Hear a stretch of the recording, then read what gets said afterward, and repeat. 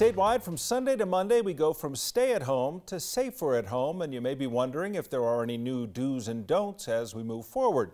So let's talk about the transition with our Nine Health expert, Dr. Payal Kohli. It's good to see you, Payal. Let's talk about the transition here. A lot of news this week. What do we know about therapies or treatments that we didn't maybe know a week ago?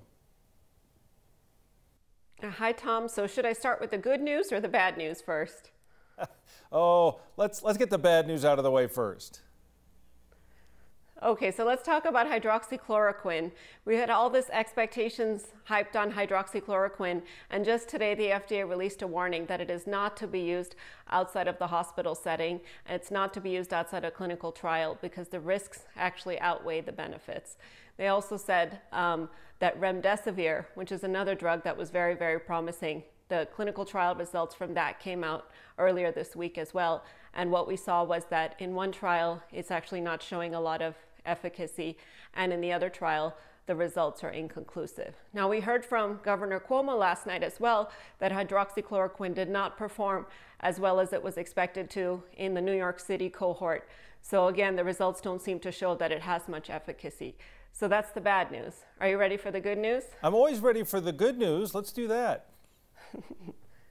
Okay, so there's scientists in China that are actually cloning the antibodies that are neutralizing and work against this virus. So hopefully, you know, that convalescent plasma that we've been talking about, this is a way to really ramp up production of that. And we'll have to see if it works to clone these antibodies. When you talk about remdesivir and hydroxychloroquine, I think everyone wanted an instant fix, and that's that was the hope that they would stumble across something that was already in process. But we really are still looking at 12 to 15 to 18 months before a vaccine, in all likelihood, is ready. It's true. I mean, some scientists from the NIH are saying we could have something as early as September, but that's very optimistic. And I think that what you said about treatments, we really want to find a treatment, but we have to do it in a safe fashion. And both of these, which were looking very promising, have really started to fizzle out. All right, do's and don'ts from shifting from stay at home to safer at home statewide. What are the don'ts? What are the things you want people to be aware of or care careful of as things change a little bit come Monday? So I'll, I'll, have three don'ts for you guys today. The first, Kim just said a few minutes ago, do not ingest, inject, or inhale disinfectants, bleach, or isopropyl alcohol because these are poisonous substances and this is definitely not safe to do.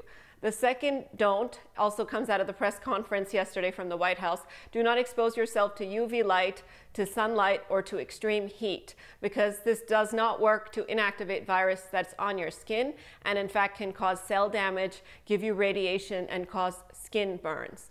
And then the final don't is don't do anything that's not essential. Nothing changes on Sunday from my perspective. Don't get your hair cut. Don't get your nails done. Don't go for a massage. This is not the time.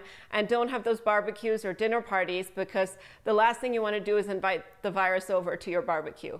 That's just, not a welcome guest. Yeah, just not there yet. What about the do's, though, as we move to Monday? So, do's, real quick, three do's as well. Wear those masks. Wash those hands and sanitize those surfaces, and then try to work from home if you can. I know we're starting to transition to going back to work, but it's still safer for us at home, as the governor has said, so really try to do that if you can. Stay smart, stay aware, and, and enjoy the weekend. Hopefully, you have a great weekend, Payal. We always uh, appreciate our chances to visit with you. Thanks again.